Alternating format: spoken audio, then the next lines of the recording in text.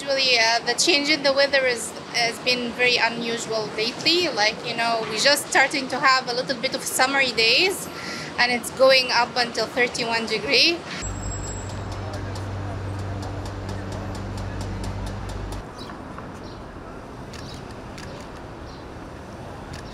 Well, we drink a lot of water.